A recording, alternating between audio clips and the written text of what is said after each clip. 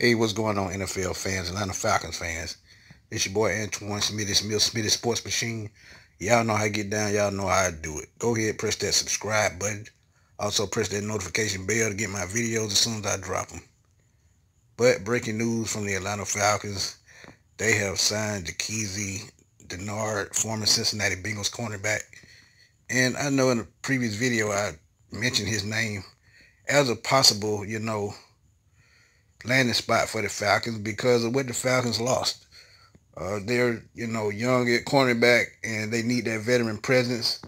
Uh, losing Desmond Trufant, you know, to the Detroit Lions. Um, you look at the young, the young AJ Terrell who they drafted, and Kendall Sheffield who's in his second year.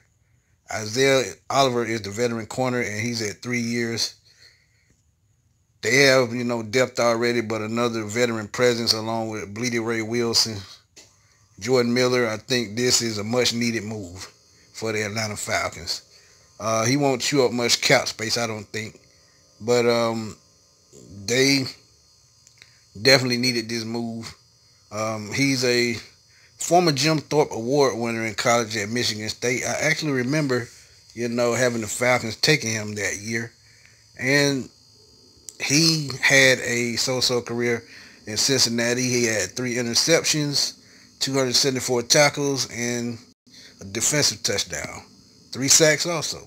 So he's a very versatile corner who could probably play slot, play on the outside, play nickel, and he can even, you know, blitz the quarterback, you know, in a, on occasions.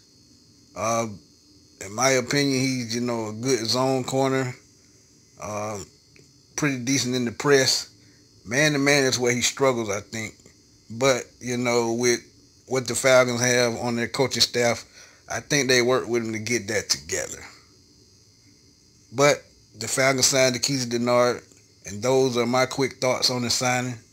Drop your comments in the comment box. Let me know what you think. Is this a great signing for the Falcons?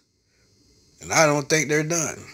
I think once, you know, the season starts and injuries, you know, could happen, or they see someone, you know, on the free agent market they could use, I think they uh, make another move during the season. But, like I said, those are my thoughts. Drop those comments in the comment box. Let's debate. Let's have fun as always. It's your boy Antoine Smitty Smith, Smitty Sports Machine. I will holler at y'all on the flip side, my good people. Peace.